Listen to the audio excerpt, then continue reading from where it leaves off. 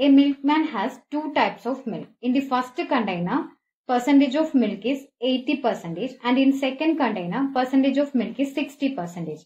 If he mixes 28 liters of milk of the first container and 32 liters of milk of the second container, then the percentage of milk in the mixture is.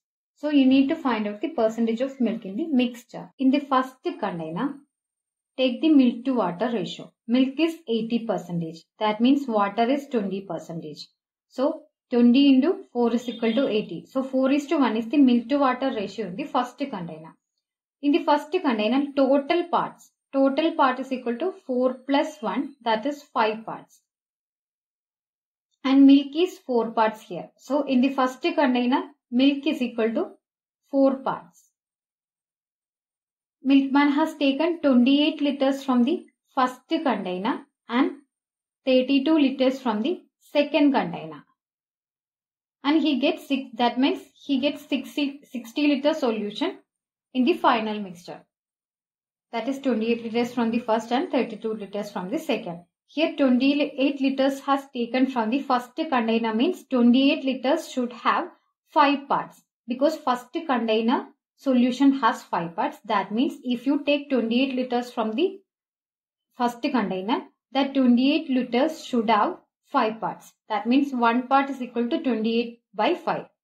Then milk in the 28 liter is equal to 4 parts. That is 28 by 5 into 4 is equal to 4 parts.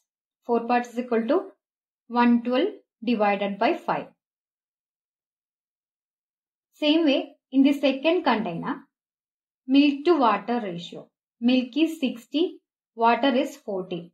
That means 20 into 2, 40, 20 into 3, 60. So 3 is to 2 is the milk to water ratio in the second container.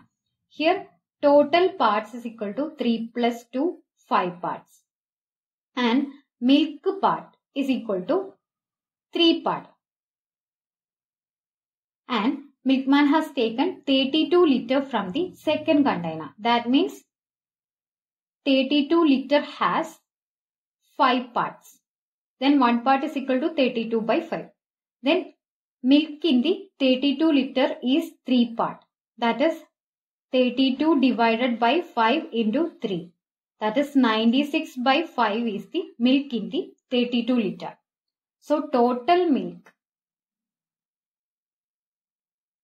Total milk at 60 liter solution is equal to 112 divided by 5 plus 96 divided by 5. That is equal to 208 divided by 5. So in the final solution, total milk is 112 divided by 5 plus 96 divided by 5. So that means percentage of milk at 60 liter solution is 208 divided by 5 divided by total solution is 60 liter into 100. That means 208 divided by 60 into 5 is equal to 300 into 100. So 0 0 cancel. 208 by 3 is same as 69.33.